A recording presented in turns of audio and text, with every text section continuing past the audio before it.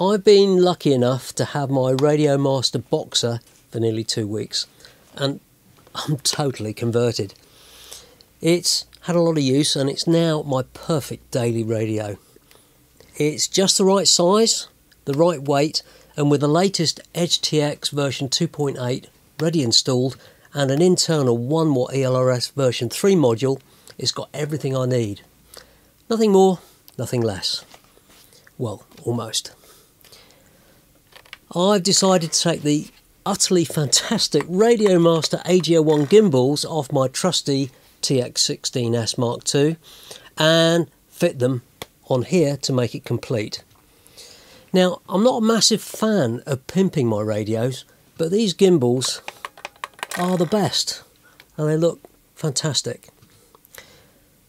Upgrading this is utterly trivial and it's not really worthy of a video, but I appreciate that the Boxer is on pre-release for delivery in January 2023, which is, you know, three or four weeks away. So most of you won't have one and I thought maybe you'd like to see how I fitted them Plus, you get a sneak peek inside. Hello, and welcome to the Whirly Bloke channel.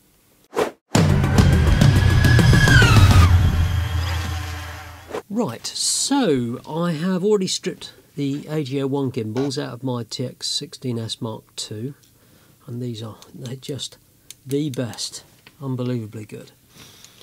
So we need to fathom out how to get this apart. So, well, let's take the battery out to start with.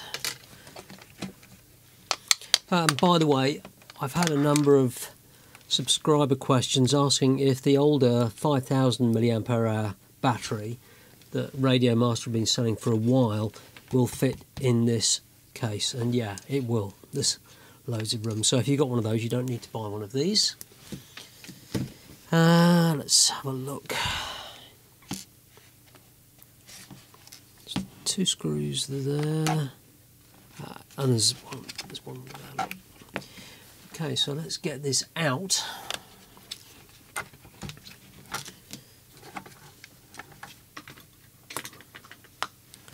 Okay, yeah, they are crossheads.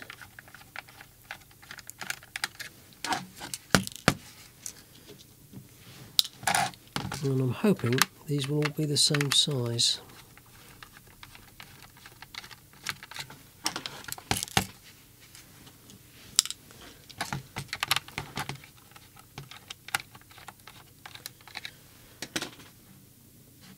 Is going to be very interesting to see inside this. Yeah, that same size. That's good.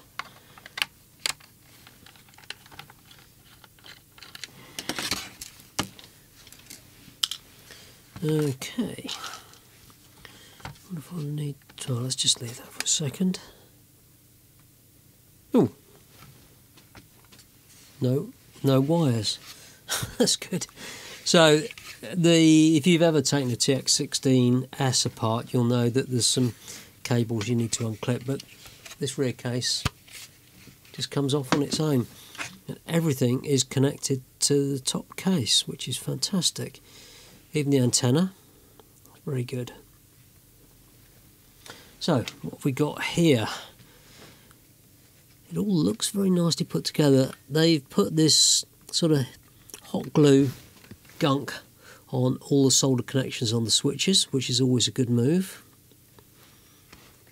And yeah, that's on all of those.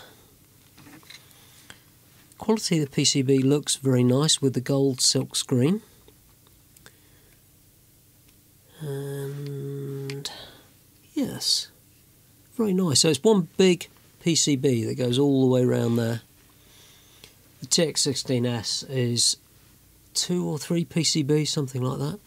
And the obvious thing, slap bang in the middle here, is the Express LRS module with the big heatsink. And this has also got this radial fan for keeping everything cool. And you only get that fitted with the LRS version. And I wouldn't mind betting that that module is exactly the same as the ones that they're putting in their Ranger modules, which I reviewed recently. So let's fathom out how this comes out. It's going to be fairly straightforward I think. Four screws and that's it. So let's get these out.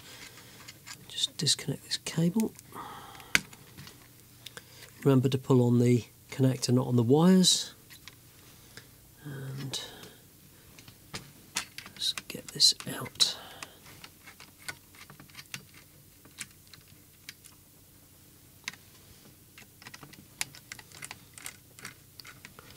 So Radio Master obviously refined the design and build to having one PCB, which is going to make production costs that much lower.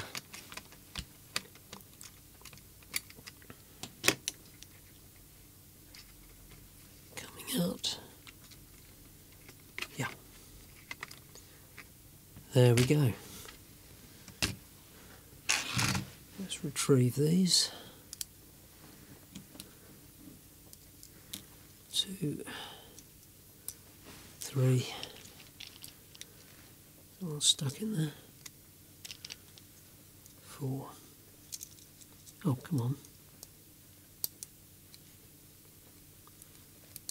there we go, it can be stored away.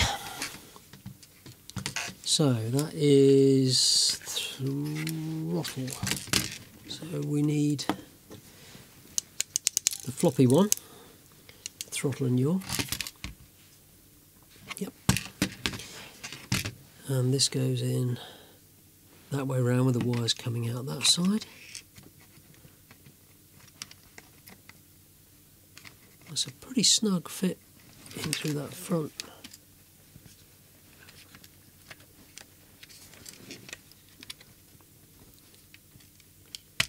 There we go, that's just clipped in now. That looks so good. Okay. I mean, this is a really straightforward conversion if you want to do it.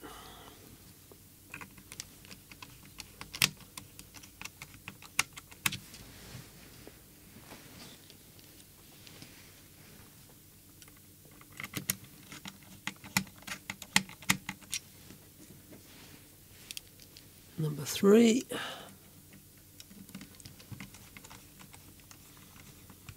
And I've been using this radio for a few weeks, well, two weeks now. And I haven't used anything else. And I haven't had to charge this battery up at all. I'll just check what the volts are on it. Looking good, is that flush? That's flush. That's good. Just nip these up.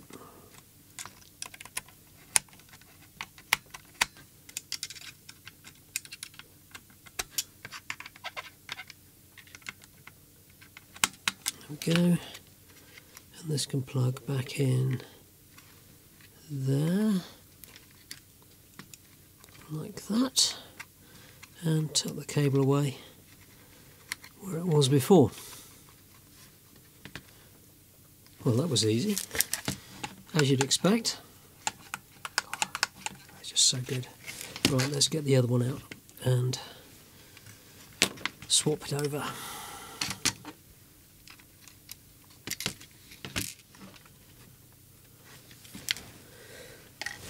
Well, there we are. That was pretty straightforward.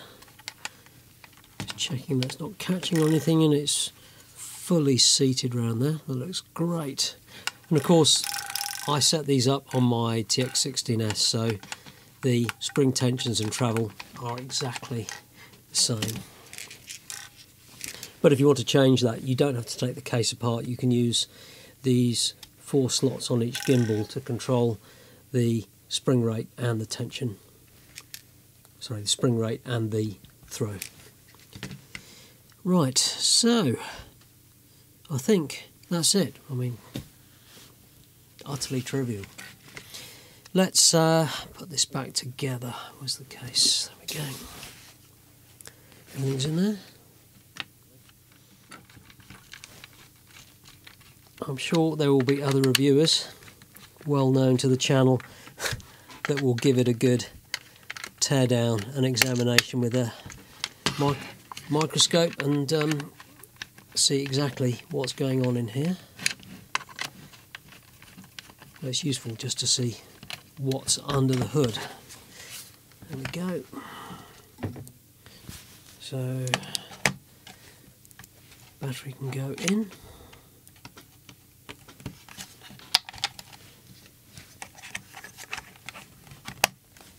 Good.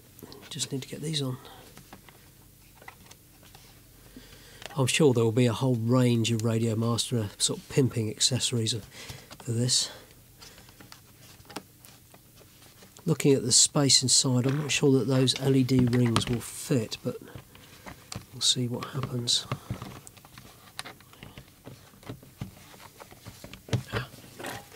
Right, so, moment of truth. Does it still work? And yes, I've still got full throw on all of these.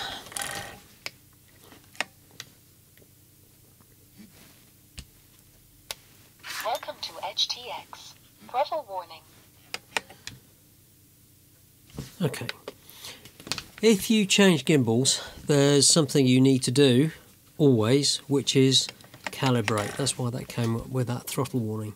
So if we go to system and page across to page six, hit, that's the hardware page, hit calibration, enter to start, so set our sticks to midpoint, that one's there already, press enter, move sticks, so just move these to their extremes like that. Might as well do the rotary pots as well, you can see it's going up and down. also, the detents on these rotary knobs, it's very good. Right, so that's all done. Fantastic. So I can go return, oh, page, page. Ah. Press and hold, that's it. Okay, so let's have a look and see what we've got here. So, looking at the throttles, so throttle is minus 100%, plus 100%, yaw is minus 100%, plus 100%, pitch, plus 100%, minus 100%, and roll is minus 100%, plus 100%. That's all fantastic. And one other thing that is worth doing is just checking what the battery range is set to on here, the date, and the battery alarm. Now, the date is correct, that's good. Battery range, well, that's slightly off, isn't it? Um, in the spec for the Boxer radio, it says 6.6 to 8.4, so we'll just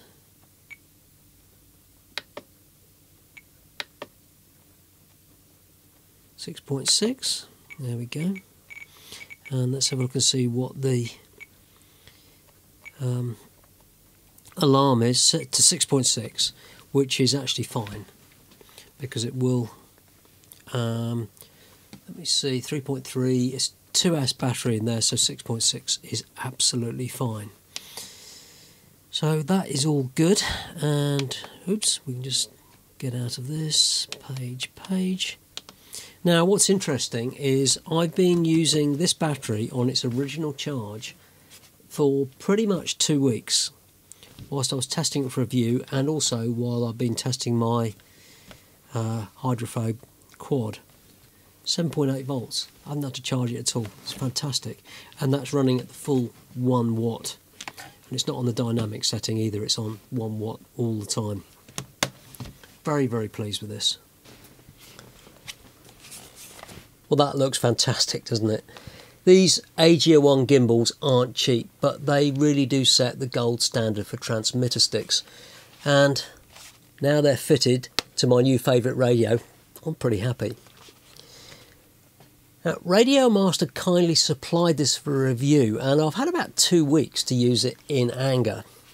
The weather's been terrible, but I'm testing my waterproof hydrophobe drone, so it's rain and snow. They're not really a problem. Although, My hands have been pretty cold. And I can't really ask for anything more. This is small and light enough to not be too fiddly like the Zorro, and with the 1 watt ELRS module, it's about as contemporary as it gets. And looking at the build quality, inside and out, I think this will stand up to very regular use. But of course, only time will tell. Now, I put Radio Master links in the description so you can check out prices and availability. The radio is on pre order now for delivery in January 2023. And if you plan on getting one, I suggest you get your order in soon because this is going to be popular.